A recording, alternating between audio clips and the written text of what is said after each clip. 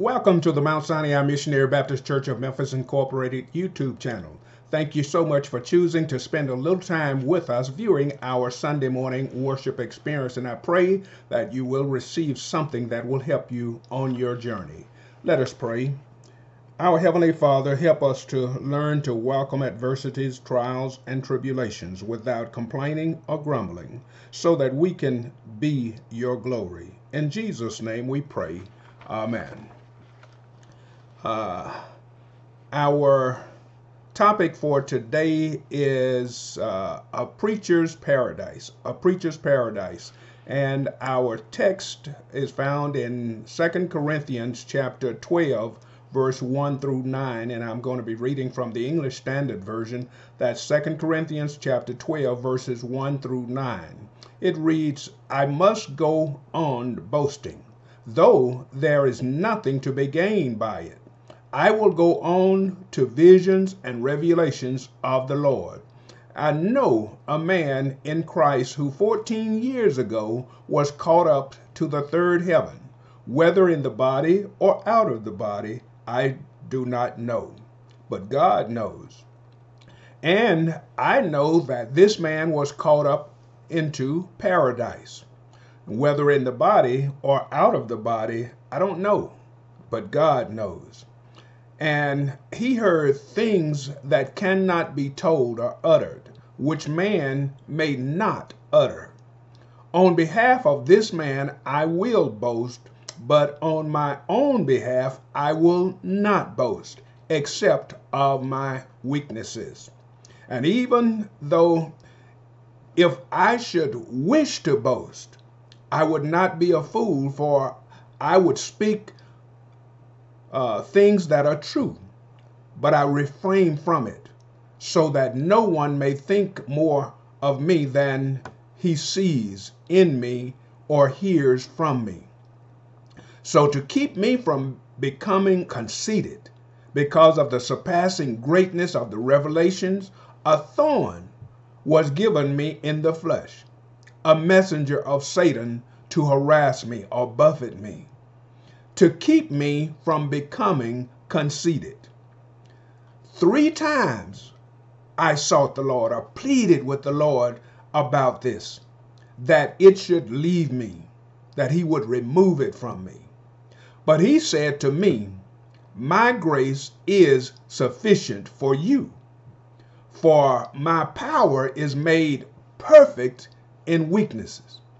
And therefore I will boast all the more gladly of my weaknesses, so that the power of God may rest upon me.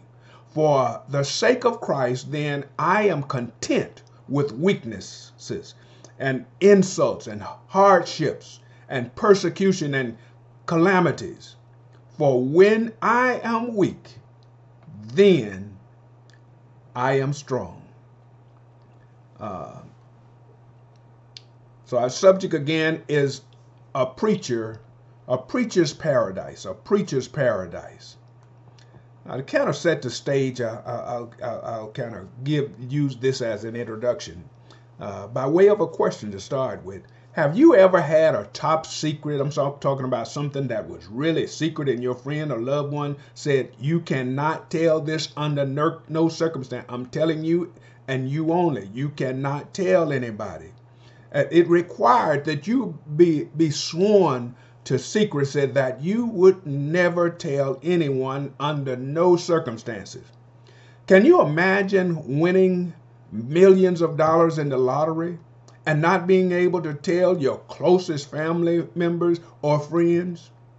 The Apostle Paul was in a similar situation, but to a greater extent. Every preacher would love to have received revelations from God that no other preacher knew. Preachers are given great revelations and visions, but the truth that's uh, revealed in the book of Ecclesiastes uh, places a great limitation on what we have that we can reveal. Le- Le- Ecclesiastes chapter 1, verse 9 uh, reads, The things that have been it is that which shall be. And that which is done is that which shall be done. and there is no new thing under the sun. So anything preachers nowadays have that, that God has given them to reveal, it's already been given to some other preachers and will be given to preachers afterwards. It's easy to recognize a pseudo Christian or one that is in training. For too often we make uh, like we are strong, upstanding Christians by giving the appearance of being strong and unwavering, never making a mistake, for instance, or never uh, being caught off guard. We are good at looking like the definition of a Christian that uh, we devise, that we come up with.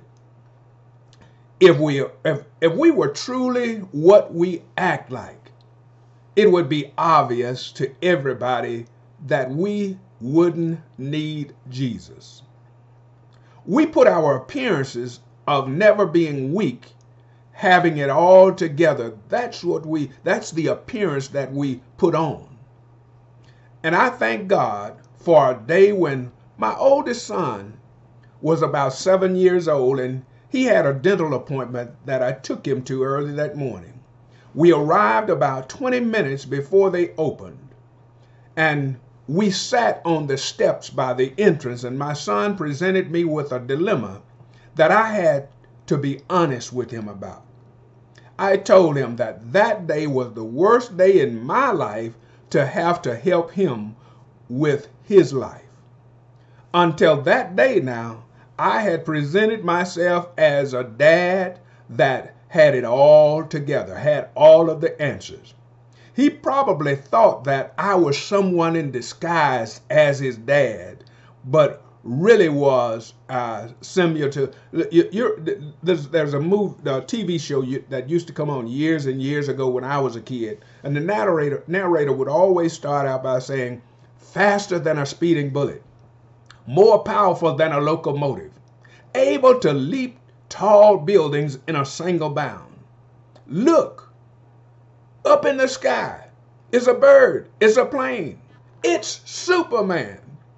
This line was spoken during the introduction of an adventure of Superman between the years of 1952 and 1958. But that morning, I had to admit my weaknesses to my son, and I didn't have all of the answers. Too often, we work at looking like we have it all together when we really don't. The Apostle Paul teaches us that uh, our pay grade is not high enough to tell everything that God uh, gives to us. And most of us, if not all of us, will never receive the great revelation uh, that Paul received in, when he was caught up into paradise. God doesn't have to answer us when, and he doesn't have to answer us how we expect him to. We must be prepared whenever we take our problems to God to accept no or not yet or live with your problem because my grace is sufficient to keep you in that situation or carry you through what I've brought you to. That's so often God uh, answers our questions in that way, and we have to be ready to accept it. We must have, if not faith, as the three Hebrew boys, uh, Shadrach, Meshach, and Abednego, uh, had when they faced being thrown in the fiery furnace that had been heated seven times hotter because they would not bow down and worship a false God. They didn't, they, they, they, they, had it, if not faith, because they didn't know if God would deliver them or not, but they did know that their God was able to deliver them. And, and, and, we have to have, if not faith, that whatever we're going through, our God is able to deliver us. Whether He li- delivers us or not, we don't know. But we do know that He's able. Now, perhaps uh, these uh, three Hebrews knew that they should uh, uh trust God that he was well up to their problem. And we ought to know that God is well able to keep us in our situations if he doesn't if he chooses not to deliver us. Psalms 46 and 1 said, God is our refuge and strength, a very present help in trouble.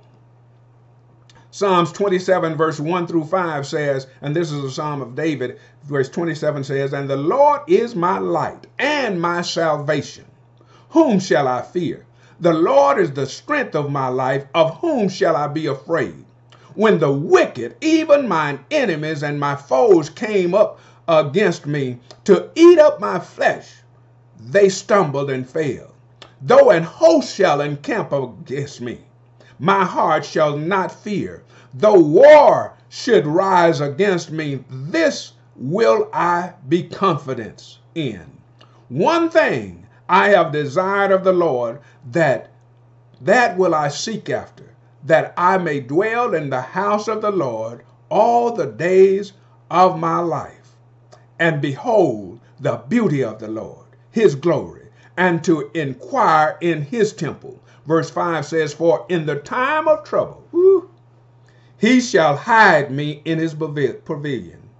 In the secret of his tabernacle shall he hide me. He shall set me up on a rock. And this section uh, of, of Second Corinthians is the climax of Paul's defense of his apostleship and his love for the believers at Corinth. He was, he was hesitant to write about these personal experiences, but there was no other way to solve the problem. In fact, to avoid exalting himself, Paul describes his experience in the third person rather than in the first person he shared with his readers three experiences from God. God had, glory, had, had uh, God's glory and shows that in these verses that God had honored him. And, and we see this in, in the Second Corinthians chapter 12, verse 1 through 6. Now the Judaizers were anxious to receive honor, and they boasted about their letters of recommendation in 2 Corinthians chapter 3 verse 1. But Paul didn't look for honor from men. He looked for honor from God. And God honors him. For that alone is the honor that really counts. Honor that we receive from God. Even when God allows us to suffer and go through some things, to be misused and abused, God will, will, will, will allow us to go through it so that we can honor him.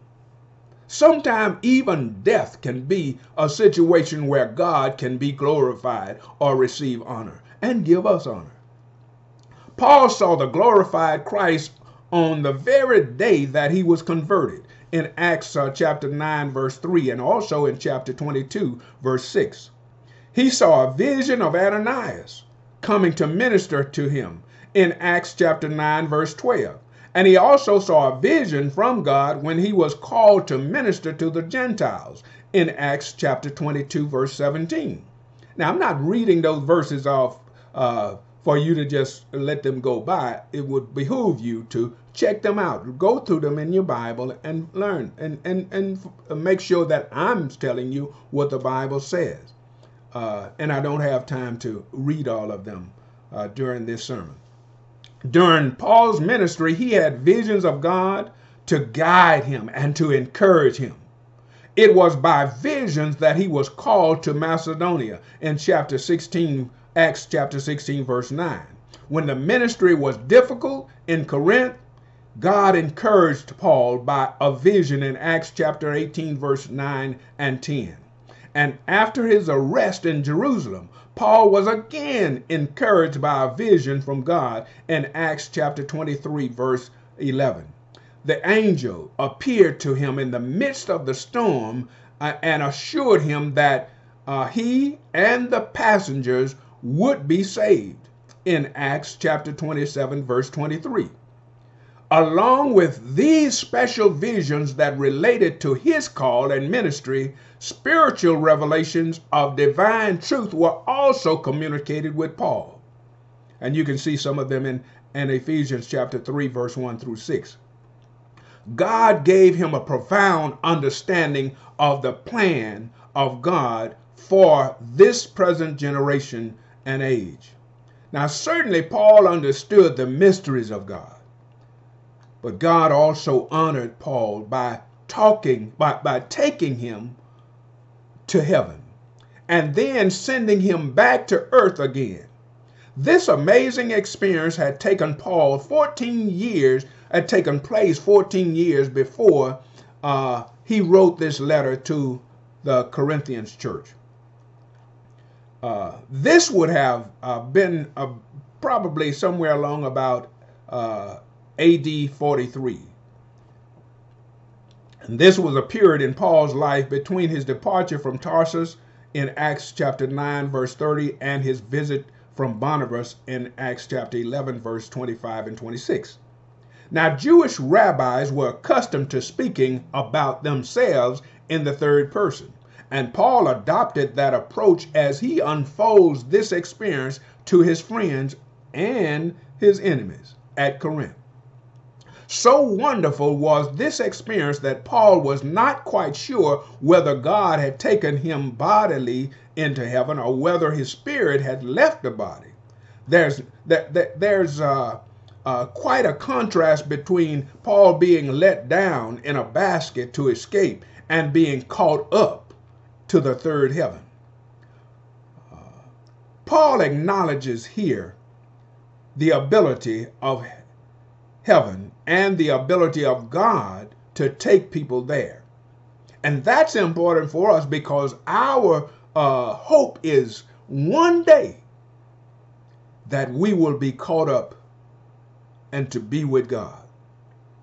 And that's one of the greatest messages that any of us can share with unbelievers and believers to encourage them. The third heaven is the same as paradise, the heaven of heaven, where God dwells in glory.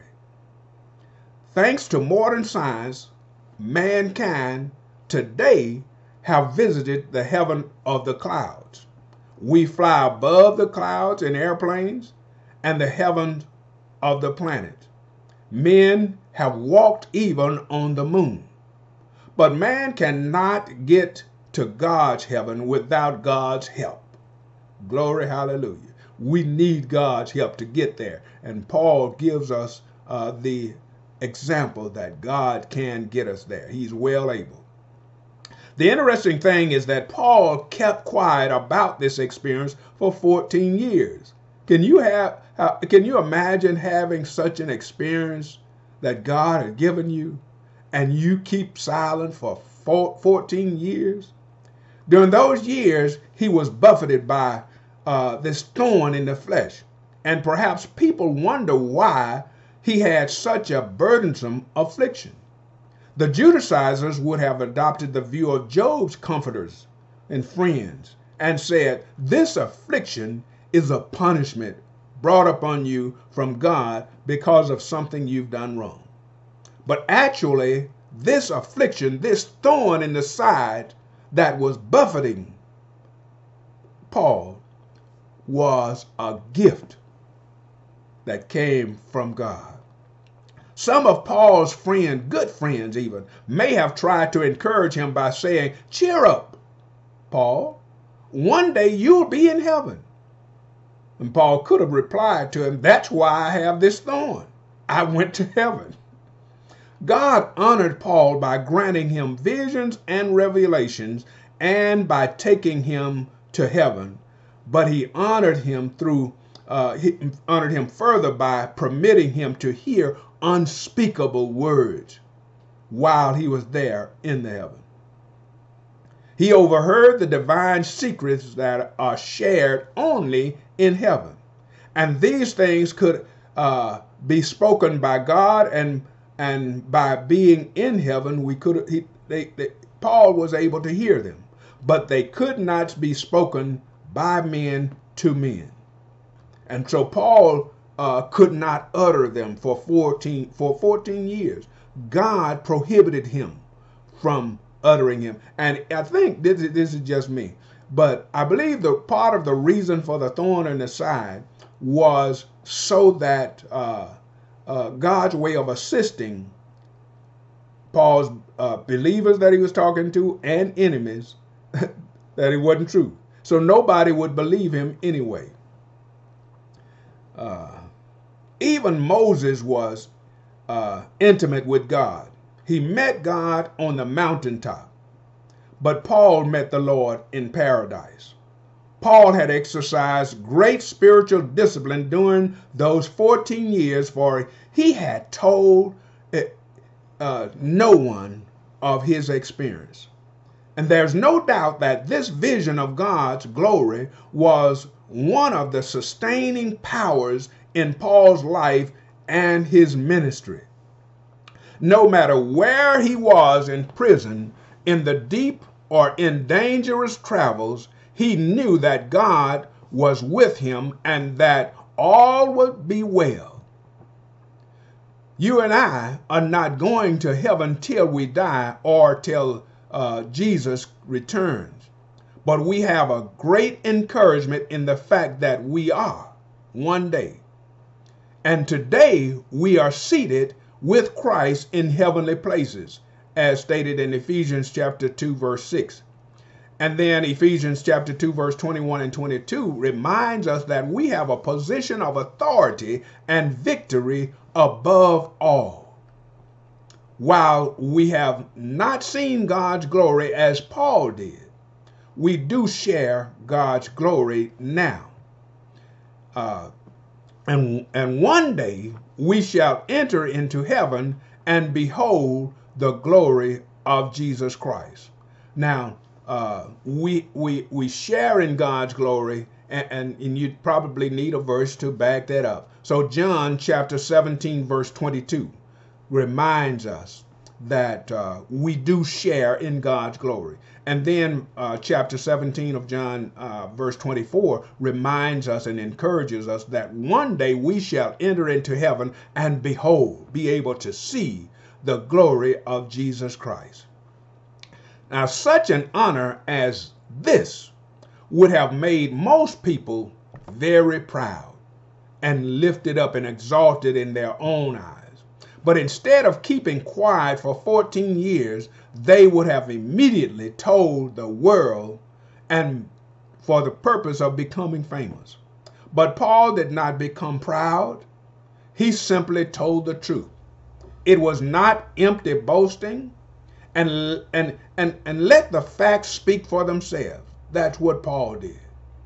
And we would do so much better. Our, our government officials and, and all of us, our church leaders, all of us as followers of Jesus Christ, uh, would do so well if we would learn to let the facts speak for themselves, to let God speak for Himself, the truth speak for itself.